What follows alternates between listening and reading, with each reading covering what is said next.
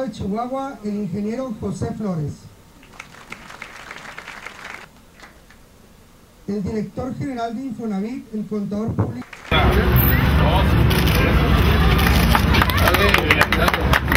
Vamos a empezar por el principio a pedir a Dios que bendiga. Eh, les